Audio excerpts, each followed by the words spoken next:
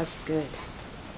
Boy, it's nice not to have those wires hanging all over the place. Is your screw gun not working?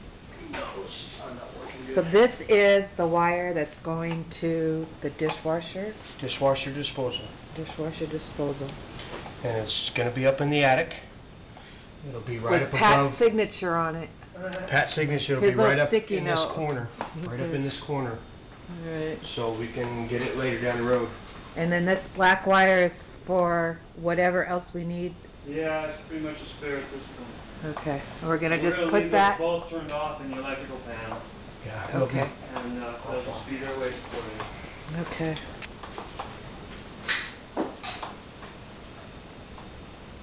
Very good.